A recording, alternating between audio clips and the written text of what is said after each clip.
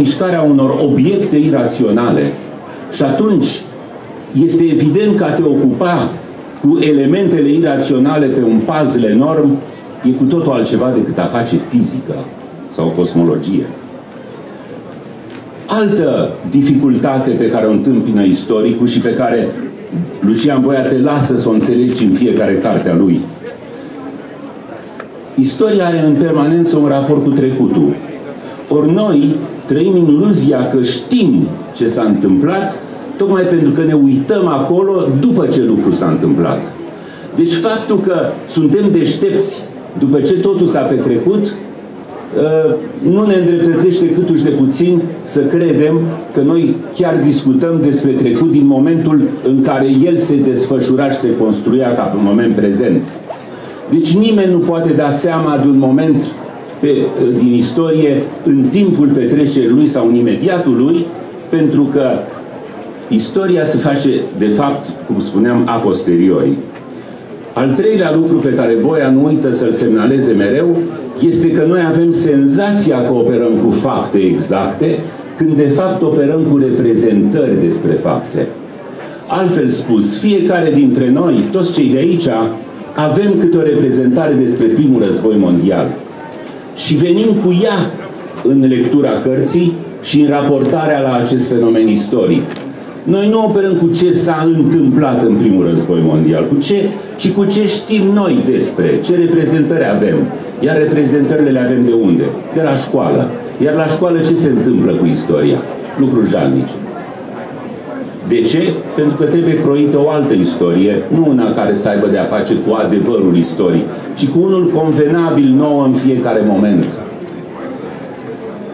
În sfârșit, jocurile cauză-efect nu sunt de tipul științelor naturii. Ceea ce pare să fie cauza, declanșarea de pildă a primului război mondial, nu este sigur că este chiar cauza. Glonțul de la Sarajevo e sau nu cauza efectului unui primul război mondial? Și ne putem întreba, nu se putea întâmpla și altfel? Această înnebunitoare idee pe care o avem fiecare dintre noi, între jocurile cele mai frumoase, ce s-ar fi întâmplat dacă perșii băteau pe greci la Salamina în 480? Nimic din ce e azi n-ar mai fi arătat așa. Nimic. Spune a cincea, șasea oară, toate doamnele de față ar fi purtat văl. Și eu n-aș fi lansat cartea. Așa că e o aiureală tot scenariul ăsta. Deci, de fiecare dată, un fenomen al istoriei putea să arate altfel. Pentru că jocul necesității și al întâmplării acolo este extrem de subtil. Faptul că un lucru s-a întâmplat așa presupune că asta e necesitatea lui? În sfârșit, știința istoriei își atinge limitele când vrea să facă predicții. Istoria e despre trecut într-o măsură, cu limitele despre care am vorbit, e despre prezent. E despre prezent? E, a zis domnul Boiate, despre prezent e. Dar tot dânsul ne-a tras atenția că despre viitor nu e niciodată. Niciodată.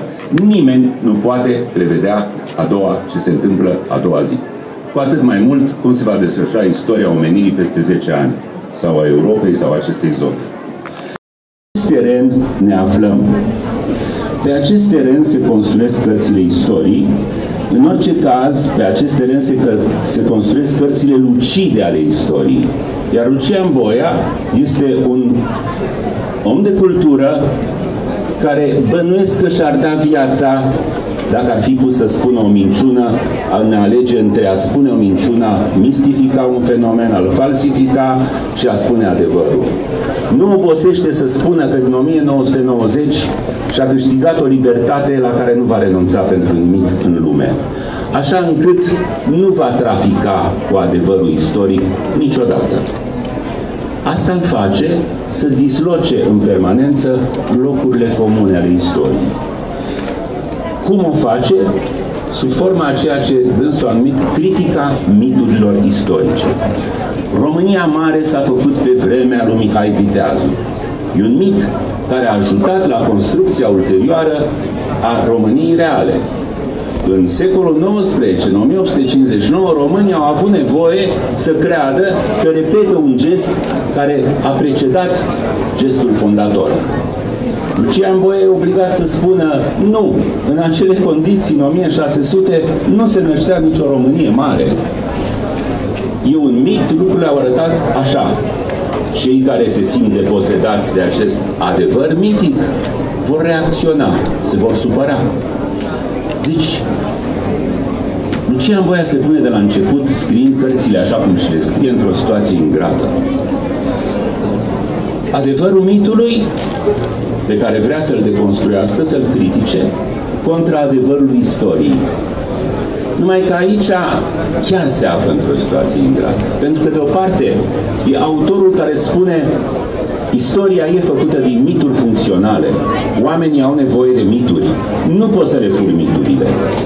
Ele sunt elemente de construcție în orice istorie a lumii, în ori, istoria oricărei nații și mai ales după secolul XIX. Dar, pe de altă parte, funcția istoricului ca om de știință e să critique mitul. Și atunci se naște conflictul între mitul deconstruit, critica mitului, și adevărul istoric. Urmarea este că apar oricând fanatici, patriotarzi, fanatici ai mitului, care vor protesta și vor denunța, îl vor denunța pe autor ca pe un trădător al nației, ca pe un om care ne ia adevărurile noastre dragi. Și a început să o pățească la diferite lansări. Iertați-mă că spun așa, dar asta s-a întâmplat.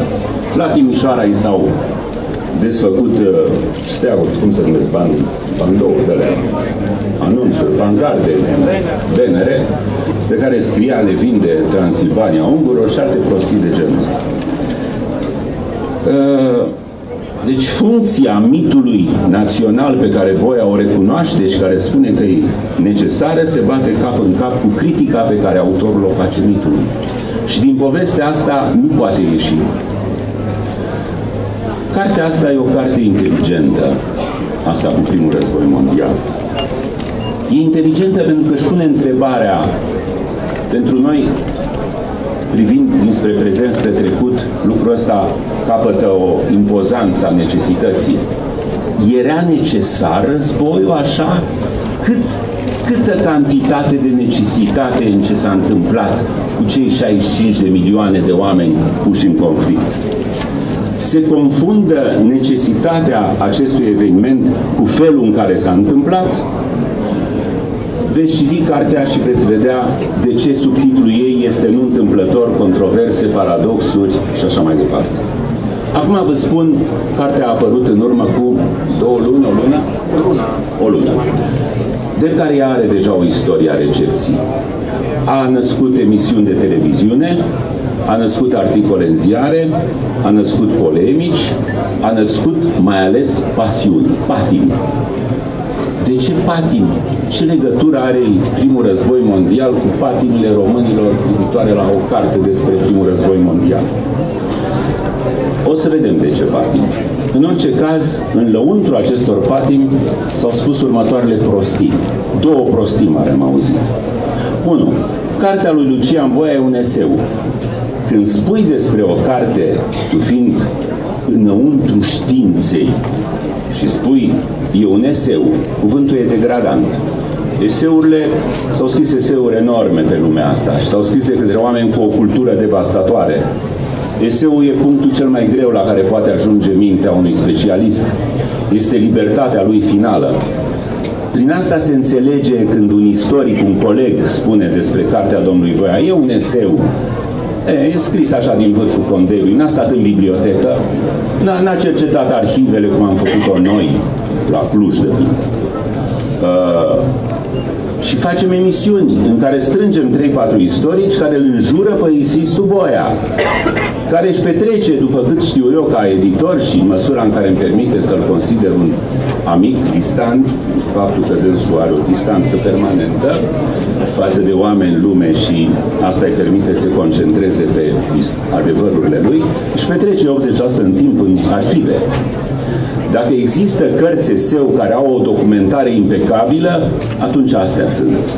Deci vă spun, este munca unui istoric care a trăit din greu în subsolurile bibliotecilor și în arhivele lor pentru a putea să scoată liber idei inteligibile pentru toată lumea. A doua prostie pe care am auzit-o e ok, bun, a scris așa cum a crezut, a mutat lucrurile puțin din loc, dar nu era momentul.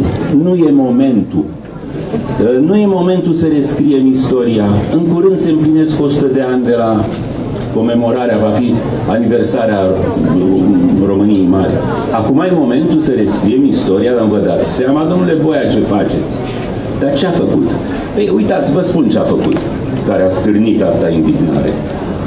A făcut o mică, a explicat cum arată o diferență de nuanță.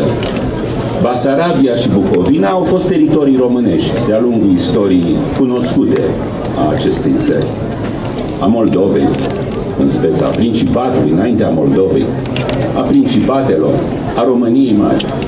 S-a plimbat de la ruși la noi, smulsă din trupul țării, cum se zice, de câte ori, nu știu, patru ori, cinci ori, de câte ori au putut să, sau mai, au mai venit să înghită puțin, dacă se puteau toți Balcanii, normal că au luat în drum Basarabia și Bucovina.